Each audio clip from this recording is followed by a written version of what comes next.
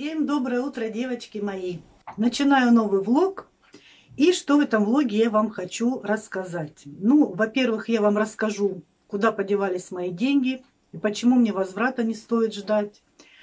А, и во второй части мы с вами приготовим очень вкусный суп-солянку. Это самый любимый мой суп. Вообще я супы не очень-то люблю. Но вот этот суп я э, с удовольствием э, готовлю, с удовольствием кушаю. Мне он нравится. Я уже как-то снимала этот суп, но это было давно, и сейчас я еще раз его сниму. Мы приготовим его по-быстренькому вместе. Рецепт я напишу в описании подробный.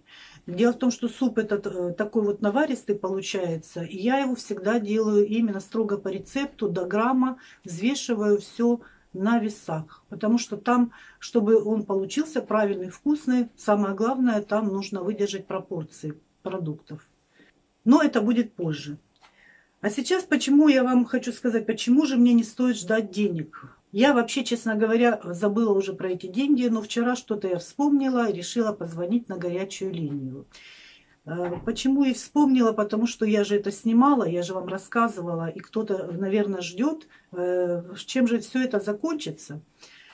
Я, э, в общем-то, в недоумении в некотором и хочу с вами поделиться чтобы вы не попали в просак так же, как и я попала в просак. Но я считаю, что это где-то моя оплошность, но в основном это оплошность операторов, которые меня ввели в заблуждение. В общем, я вчера позвонила на горячую линию еще раз и спросила, когда мне ждать возврата денег.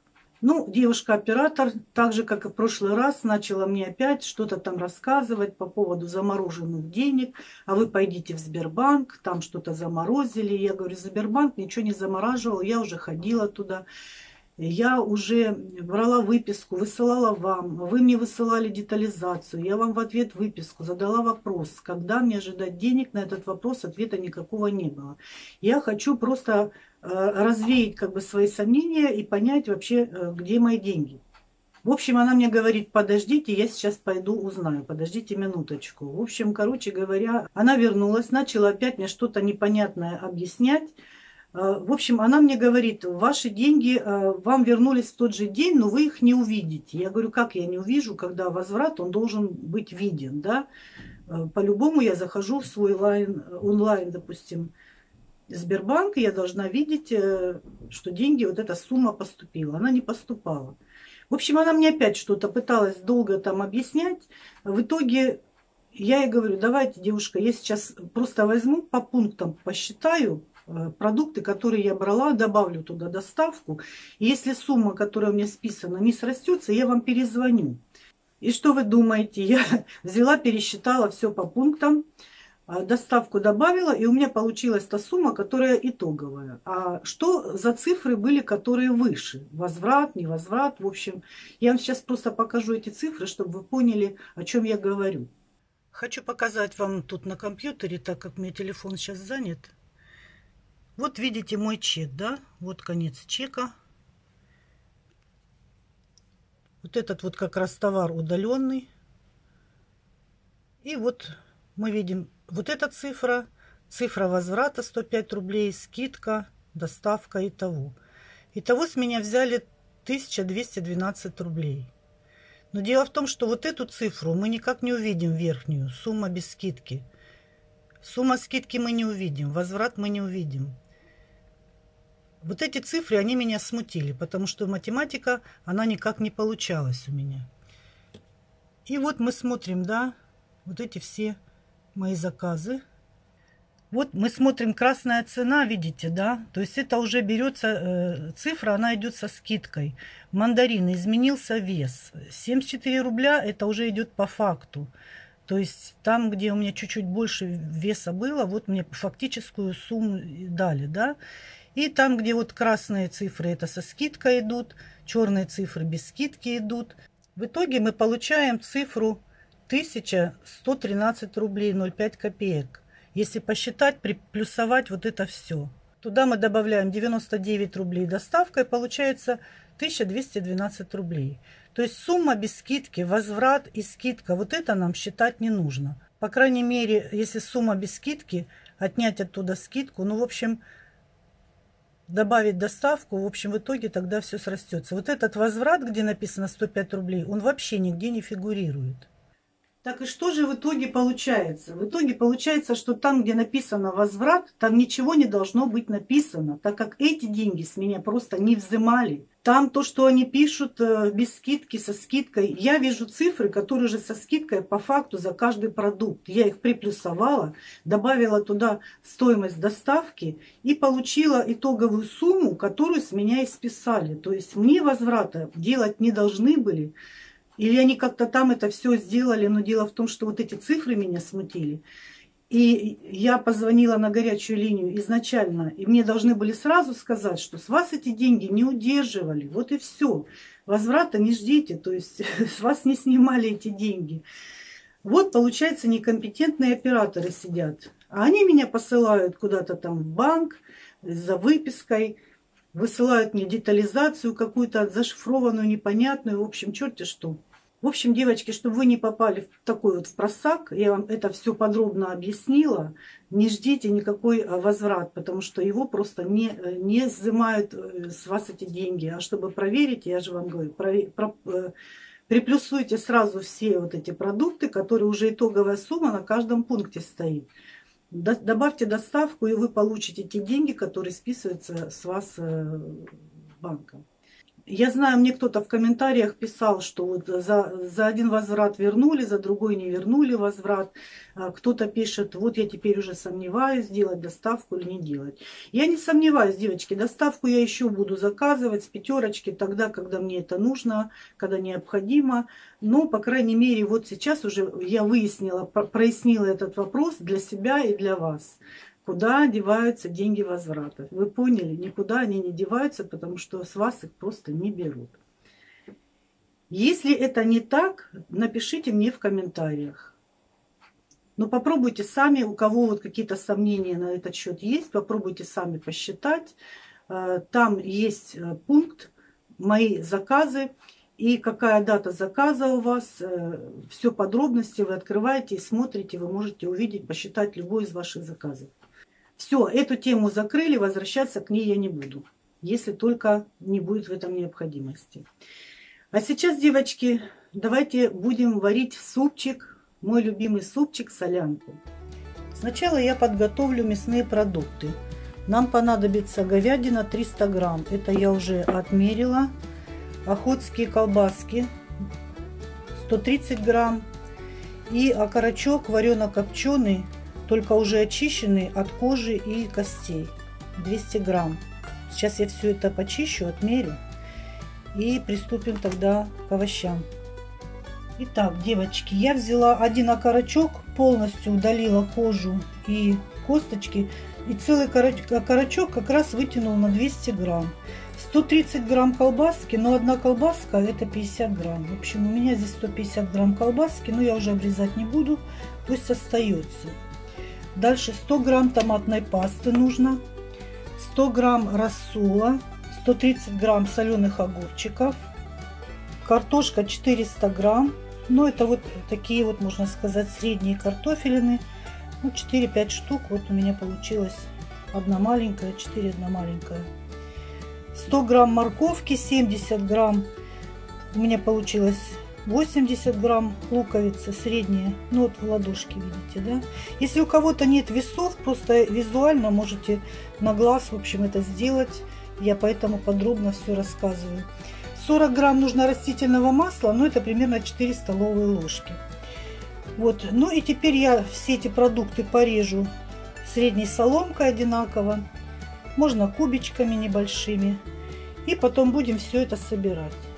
Ну, первое, с чего я хочу начать, это я хочу нарезать э, морковку и лук. Я так думаю, что я нарежу это все такими кубиками тонкими, потому что, ну, мне вот, например, как-то так все это видится. То есть примерно вот так вот я нарежу, сейчас покажу. А вы режьте, как вам удобно.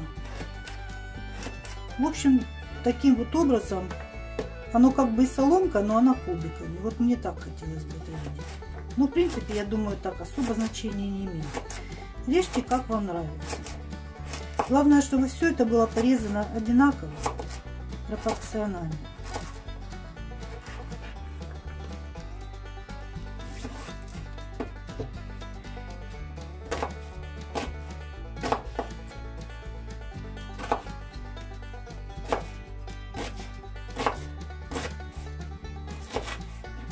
Лук примерно тоже вот такими кусочками будет.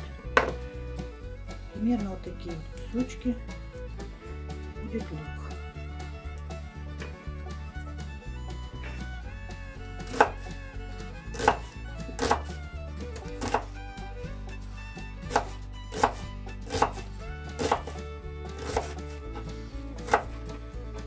Колбаски, когда свежие, с них кожура снимается Но если сниматься будет плохо, можно, в принципе, ее и оставить. Она варится и все.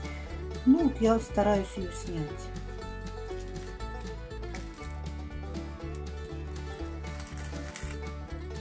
Все, колбаски я очистила, легко, прекрасно все очистилось.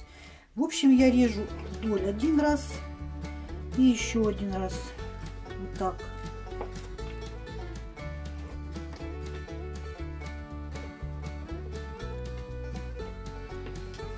Все. А потом уже вот такими вот кусочками нарезаю все. Тоже как кубички получаются.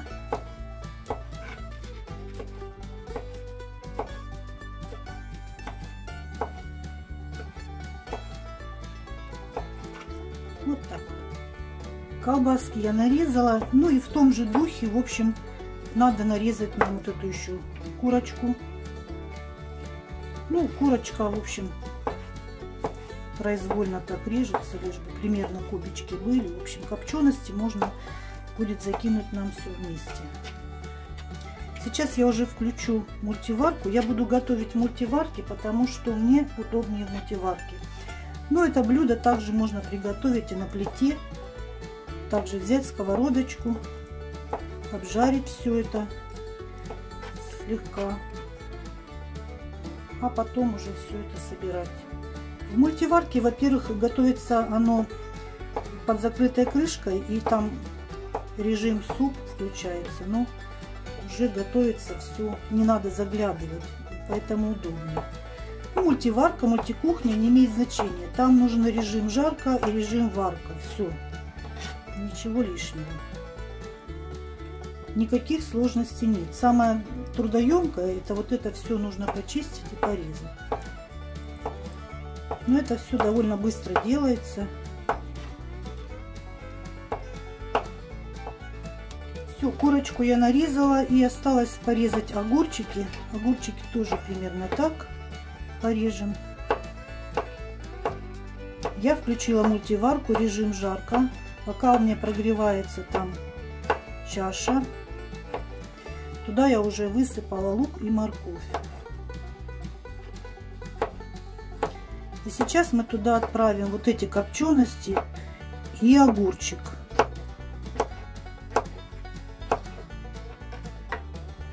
Добавлю масло. Ну, 40 грамм я на глаз добавляю примерно 4 столовые ложки. Даже если будет 5, ничего страшного. Мясо, мясо и картошку я буду резать в последнюю очередь, потому что ну, по рецепту обжаривать их не нужно. Мясо почему-то говядину обжаривать не нужно. Поэтому я ее порежу меленько, чтобы она сварилась по-быстрому. Так, у меня уже начинает греться сковорода, я слышу.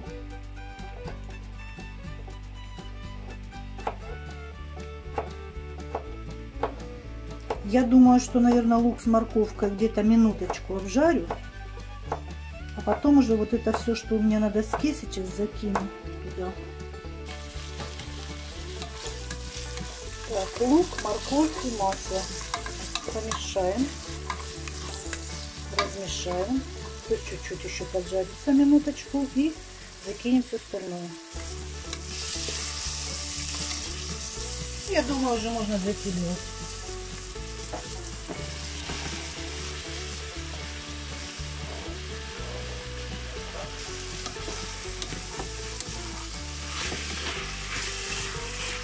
Сразу запах такой шикарный пошел.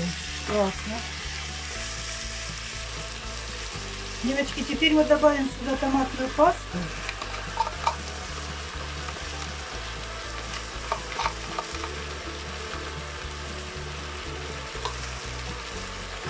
Еще раз все перемешаем.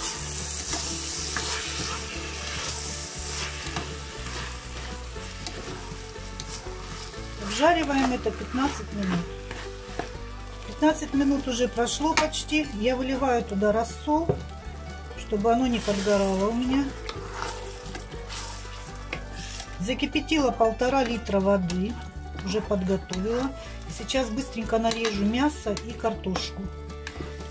Нужно помешивать периодически, чтобы не подгоралась открытая крышка, если вы эти варки делаете. Ну все, мясо я нарезала. Девочки, вообще в рецепте написано филейная говядина, филе брать. Но так как я не взяла филе, взяла мякоть, так как она в два раза дешевле стоит, чем филе. В общем, приходится вот эти вот прожилочки пообрезать все, если там попадаются. Ну и так меленькими кусочками я нарезала говядинку. Так, все, отправляю сюда говядину. Отправляю сюда картошку. И заливаю полтора литра воды. Воду заливаю с чайника горячую, чтобы она уже быстрее закипала. Уже отмерила полтора литра. Хорошенечко все это перемешаем и закроем крышку солить, и все остальное там я буду солить уже попозже. Ну и в конце зелень тоже закину. Специи какие там вы любите. Но я буду закидывать соль со специями. Все. Ну что, давайте, девочки, посмотрим, что у меня там. Прошло 30 минут. Все кипит прекрасно. Но я решила сейчас закинуть лавровый листик. Посолить. Вкусная соль у меня со специями и зеленью. И поперчить букет перцев.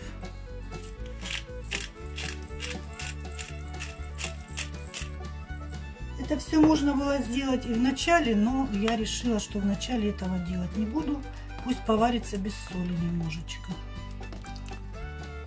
Все потихонечку варится. И за 5 минут до окончания я закину туда зелень и все. Так, девочки мои, до конца варки осталось 10 минут.